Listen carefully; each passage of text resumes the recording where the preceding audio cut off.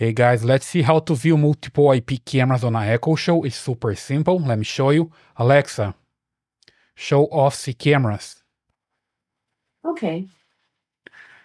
As you can see, I'm just asking Alexa to show the office cameras and then she showed me two cameras at the same time, okay? That's because the cameras are part of the same group, which is Office, okay?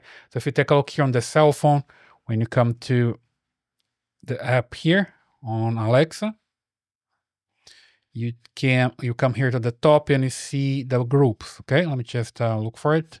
It's here on devices okay? You see groups. Then you have different groups here. And when i take a look on the office group here i see more than one camera. See camera uh, i have a door camera and a Tapo c200 camera. So that's why when i call this group just by the name it shows me more than one camera. So pretty simple like this. And you can create new groups here if you want to, okay? Just come here and create a new group and add your device to the same group. When you call it, Alexa is gonna show them at the same time. So that's the way you can view multiple IP cameras on an Echo Show. I hope this helps. Leave your comments, subscribe to the channel, and I see you in the next one.